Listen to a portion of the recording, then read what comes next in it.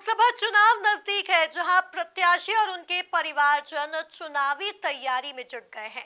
हाल ही में social media पर एक ऐसा ही वीडियो, छिंदवाड़ा लोकसभा सीट के पांडोरना का वायरल हो रहा है, जिसमें पूर्व मुख्यमंत्री कमलनाथ की बहू व छिंदवाड़ा से सांसद और कांग्रेस प्रत्याशी नकुलनाथ की पत्नी प्रिया नाथ खेतों में पहुंचकर अपने हाथों से फ़सल काट रही है। इतना ही नहीं प्रिया नाथ किसानों से मेल मुलाकात कर उनके हालचाल जानती भी दिखाई दे रही हैं। वहीं अब प्रिया नाथ के इस अलग अंदाज का वीडियो सोशल मीडिया पर खूब वायरल हो रहा है, जिसमें सभी प्रिया नाथ की सादगी भरे अंदाज की सराहना कर रहे हैं। देखिए ये खास रिपोर्ट। नकुलनाथ की पत्नी प्रिया का सादगी भरा अंदाज। महिला किसानों से मिलने खेत पर पहुँची प्रिया। प्रिया नाथ ने किसानों के साथ काटी फ़सल।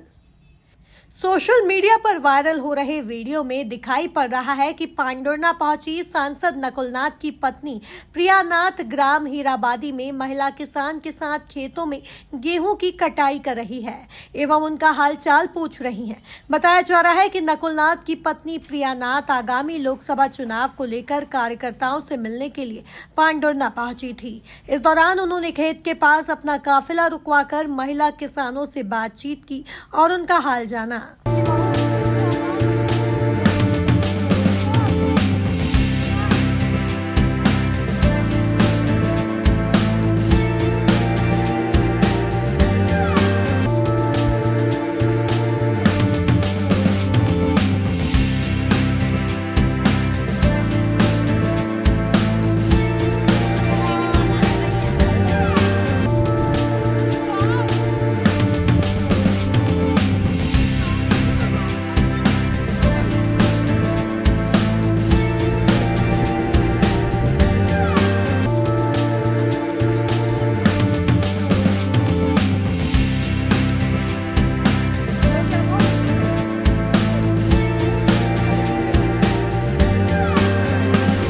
महिला किसानों से मिलने खेत पर पहुँची प्रियानाथ के साथ कांग्रेस की कुछ पदाधिकारी महिलाएँ भी नज़र आ रही हैं। वहीं अब सोशल मीडिया पर प्रियानाथ के सादगी भरे अंदाज का वीडियो जमकर वायरल हो रहा है।